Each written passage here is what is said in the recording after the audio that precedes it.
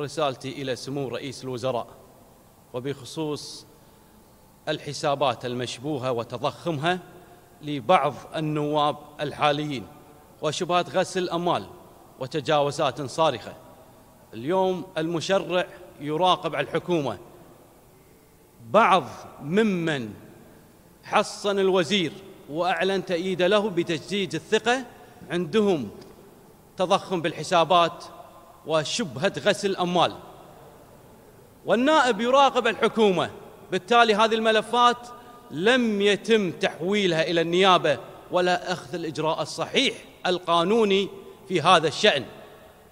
لذلك رسالتي إلى سمو الرئيس عندك رقابة ذاتية على الوزراء وحسب المادة 127 من الدستور التنسيق بين أعمال الوزارات المختلفة.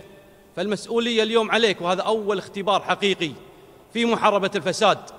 ولا يجوز تضخم حسابات بعض النواب. والأصل في وزير المالية أن لا يكون متراخي وأهمال في إجراءاته وتحويل هذا الملف إنما ركن في الأدراج.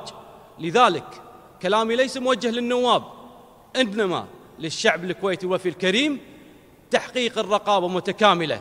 ومن ثم رسالتي إلى رئيس الوزراء بأخذ إجراء بهذا الوزير إقالته أو يقدم استقالته أو رئيس الوزراء سوف يكون مسؤول ووضح نعم راح أقدم استجواب إلى رئيس الحكومة. لا يجوز أن تتم الإجراءات بهذه الطريقة. بالإضافة أخطر مرحلة إذا كان الفساد عادي أو اعتيادي. يجب محاسبة المتجاوز والمتخاذل والمخالف وفق الدستور وقوانين الدولة.